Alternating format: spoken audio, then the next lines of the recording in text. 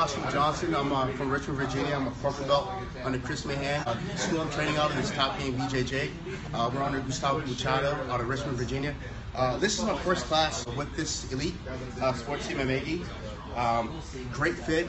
Um, it's really, really light, breathable. Uh, feels really good. Um, normally when I have uh, a, a, new gi of any type, I normally have problems on my thighs uh, doing shot walk. So it felt really great and comfortable, really breathable. Uh, loose like a pair of jeans almost to me. That's what it feels like. I like the way that he feels on my wrist. Nice, legal, legal fit. Um, hopefully I can add more this gi and more, many more gis of this uh, into my rotation. But here's just a back, couple back shots it. Feels great. Nice. Sorry for the uh, sweat. Just getting done training. Um, hard training class tonight, but uh, this is my review. Great, great quality, great fabric, very breathable, not heavy at all. Fine. Thanks a lot, guys.